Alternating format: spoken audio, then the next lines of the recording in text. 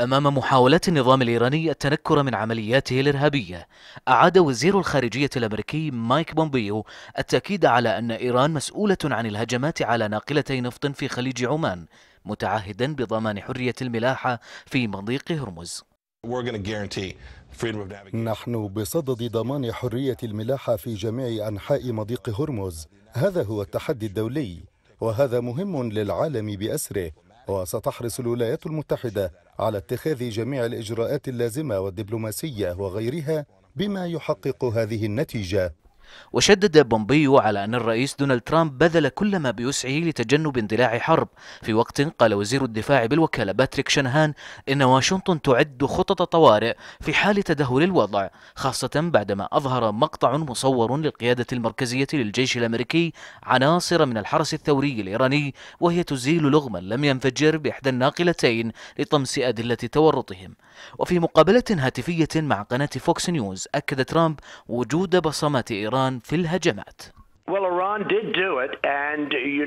لقد فعلت إيران ذلك حتما وأنتم تعلمون أنهم فعلوها لأنكم رأيتم القارب. أعتقد أن أحد الألغام لم ينفجر وكان مكتوبا عليه إيران ورأيتم وهم يزيلون اللغم كي لا يتركوا دليلا وراءهم.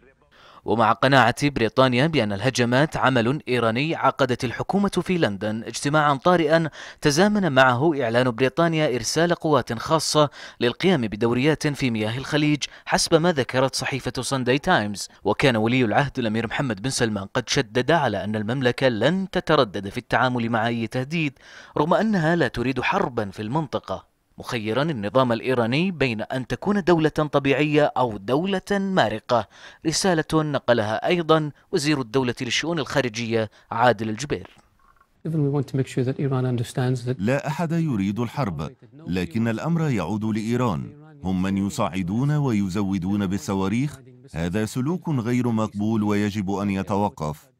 رسائل متتالية لإبعاد شبح الحرب في المنطقة لكن إيران تواصل تصعيدها معلنة أنها ستتجاوز الحدود المتفق عليها دوليا لمخزونها من اليورانيوم منخفض التخصيب خلال عشرة أيام في ابتزاز واضح لأوروبا بعدما أحكم الخناق حول رقبة نظام لا يعرف سوى لغة الإرهاب والاعتداء وعدم احترام أي مواثيق وعهود.